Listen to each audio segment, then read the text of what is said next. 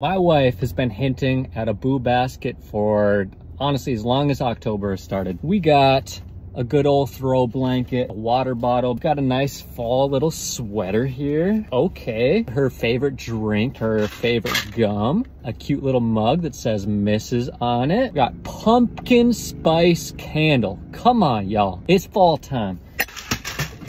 Ooh, I just chipped the glass. I just chipped the mug. Oh my gosh. Look at this. Oh my gosh, I have to go get a new one. Um, okay.